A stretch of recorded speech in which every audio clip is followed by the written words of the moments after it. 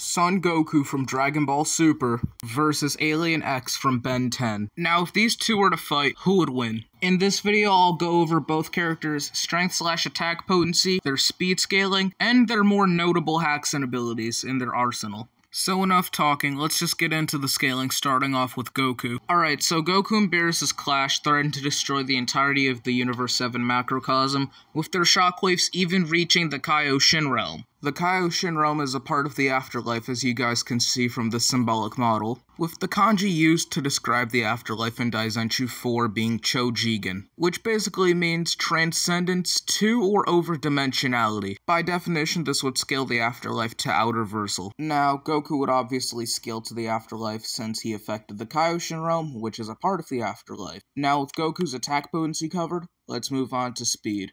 As for speed, Goku, even during the Buu saga in base form alone, was capable of traversing the entire afterlife. And in the Dragon Ball Super Exciting Guide, the afterlife is stated to have no concept of time. So Goku traversing the afterlife would give him irrelevant speed, and with attack potency and speed covered, let's move on to abilities and hacks. Now for some of Goku's more notable hacks and abilities, Goku is capable of using the Hakai which is a technique that allows the user to erase the target from existence. Goku can also seal his enemies via the Mafuba. He can also heal his injuries in combat. Finally, for the notable hacks, Goku has soul, mind, and conceptual manipulation since Ki is spiritual, mental, and conceptual. So in conclusion, Goku would scale to outer versal with relevant speed, with his notable hacks being soul, mind, conceptual manipulation, existence erasure, sealing, and healing. And with Goku covered, let's move on to Alien X's scaling.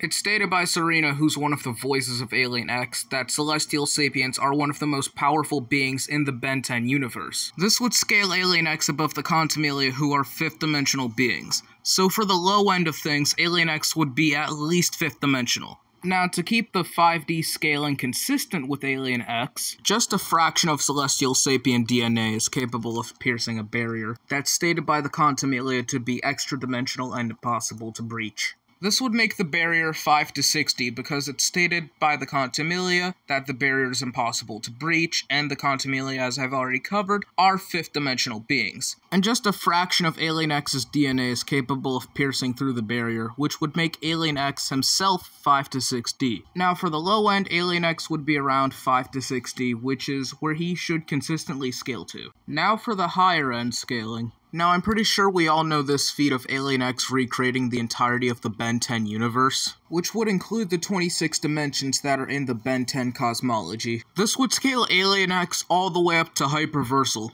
With Alien X's attack potency covered, let's move on to his speed. Now, as for speed, Alien X by default would have a measurable speed, just due to the fact that Alien X is bare minimum 5D and you need to be 5D or higher to have a measurable speed. Now, with Alien X's attack potency and speed covered, let's move on to his notable hacks. Alien X has access to time manipulation, as he's able to rewind time, as you guys can see here. Alien X is also capable of creating clones of himself, as you guys can see. He also has space-time manipulation, as Serena stated that Alien X can change the very nature of space and time. Alien X is also capable of creating black holes, also capable of warping reality. Finally, for notable hacks and abilities, we have Existence Erasure, as Kevin stated the Celestial Sapiens could blink and they'd be gone. It takes a lot to get their attention, and that's fine. We don't want it. Why not? They could just blink, and we'd be gone.